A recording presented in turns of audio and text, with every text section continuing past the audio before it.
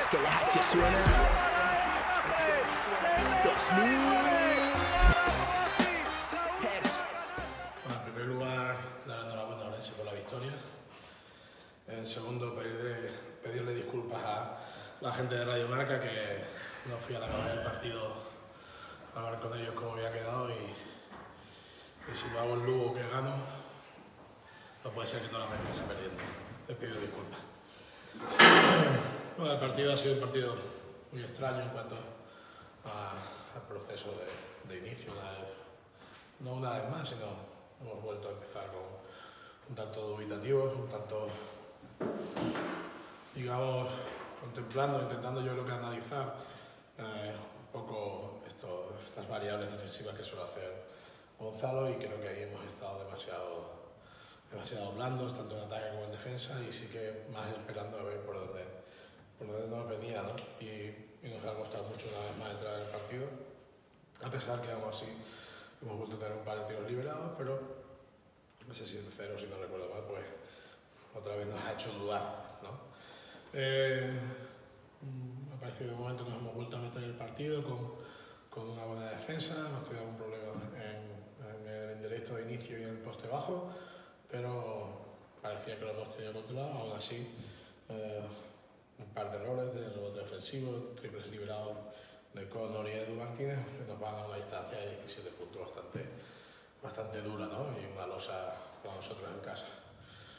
Pero bueno, al final del segundo cuarto ha aparecido eh, un poquito ese espíritu que vamos teniendo, ese espíritu, esas ganas de pelear que, que el equipo eh, demuestra cada día y, y- y hemos entrado en el partido al final del- de la primera parte. ¿no? Eh, después ha sido un remar con, con Jorge Bilbao dando energía a todo el equipo y haciéndonos ver que podríamos tener un camino para, para conseguir eh, la ansiada victoria en casa para nuestra afición. ¿no? Eh, hemos conseguido remontar, hemos conseguido ponernos por delante y hemos conseguido bueno, eh, contener un poquito esa- esas acciones de poste bajo y de, y de tiros liberados, perdón, de bloqueo directo de ese último tramo del partido con OD. Eh, y luego hemos llegado a un minuto final que, que sin duda se puede haber decantado para cualquiera de los dos lados. Creo que hemos tenido más posibilidades nosotros de conseguirlo, pero al final un par de errores puntuales muy, muy claros, muy claros, no nos han permitido llevarnos una victoria. Eh, cuando consigues remontar 17 puntos como lo ha hecho el equipo, ante un equipo que sabe muy bien a lo que juega, que tiene muy, muy, muy controlado dónde, dónde quiere y dónde puede hacer daño, mm, puedo decirles muchas cosas a los jugadores, algunas serían injustas y solo les puedo decir que ha hecho un buen trabajo. Remontar 17 puntos, ponerse arriba, posibilidades de, de irnos a 4 a falta de 18 segundos. Eh, bueno, quiere decir que este equipo está para pelear, para pelear con todos. Ahora tenemos que dar ese paso. Ya no solo nos vale pelear para competir, que es una, una máxima que tenemos, que tenemos que competir todos los partidos y tenemos que tener la posibilidad de ganarlos. Ahora tenemos que tener, eh, tenemos que dar el siguiente paso, ¿no? que es eh, tener la templanza adecuada para conseguir ganarlos, porque eh, el proceso va bien, a pesar de esos errores iniciales, el proceso va bien, pero como siempre digo, estos son derrotas por pequeñitos errores que hacen mucho daño. Y ahora tengo que pensar en levantar a mi equipo. Yo, ya sabéis que me es muy difícil eh, estar sereno cuando, cuando, cuando perdemos y tal como lo he hecho, hemos hecho ahora, pero, pero creo que los jugadores no se merecerían ninguna palabra mía negativa al respecto de lo que han hecho hoy en la pista.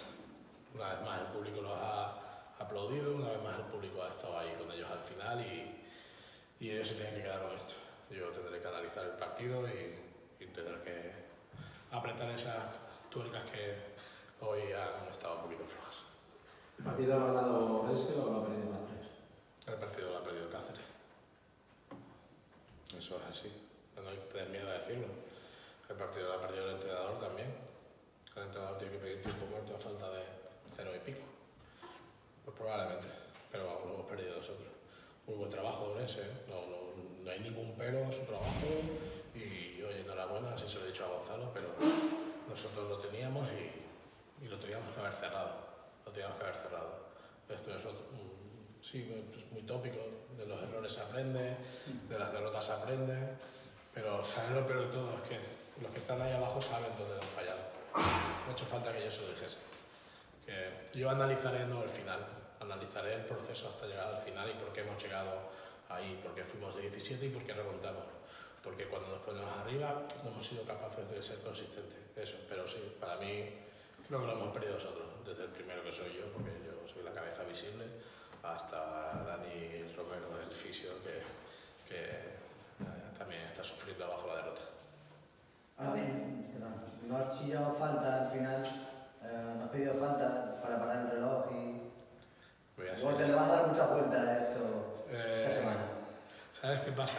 Que si yo te digo a ti, si yo te digo a ti que hemos puesto como un loco gritando falta, la culpa es del, del jugador. Si yo te digo a ti que no he dicho nada, la culpa es del entrenador. Así que yo prefiero tener la culpa. Tengo las espaldas muy anchas. Roberto, dos nombres propios en esa remontada, Aitor Zubizarreta y Silvestre Ver, que no vienen a ser desde luego grandes estrellas aquí y sin embargo han demostrado un carácter que gusta mucho en estos multiusos.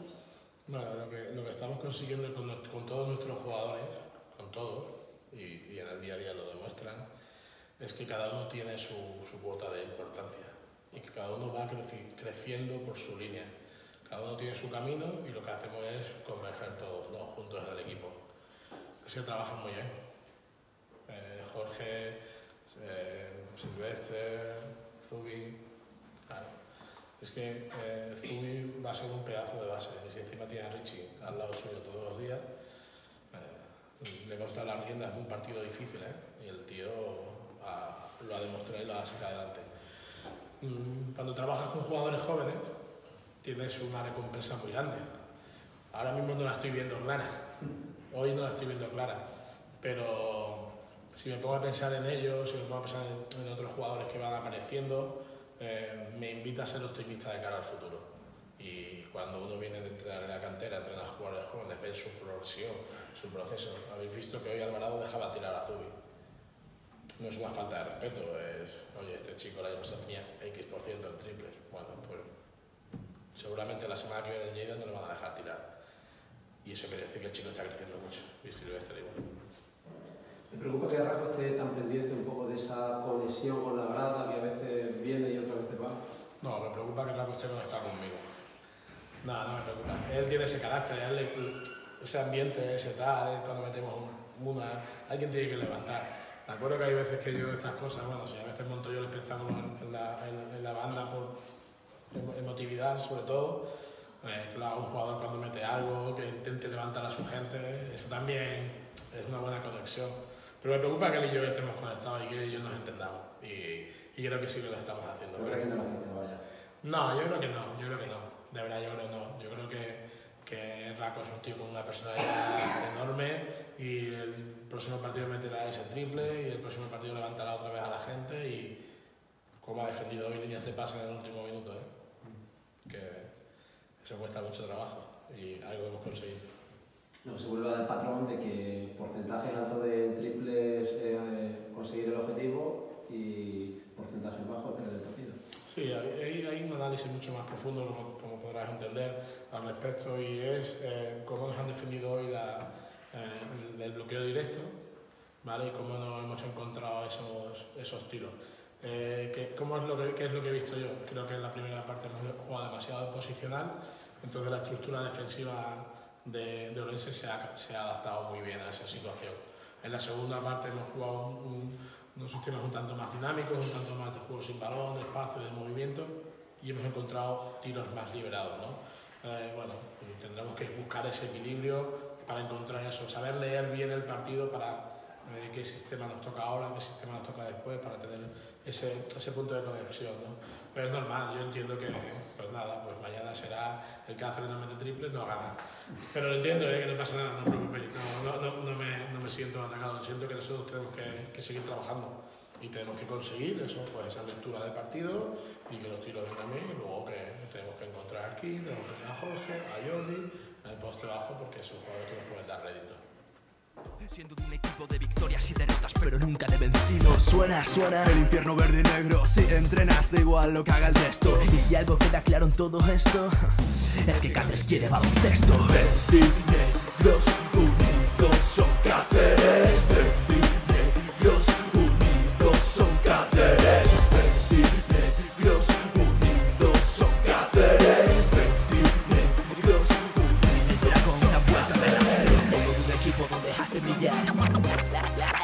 gratis.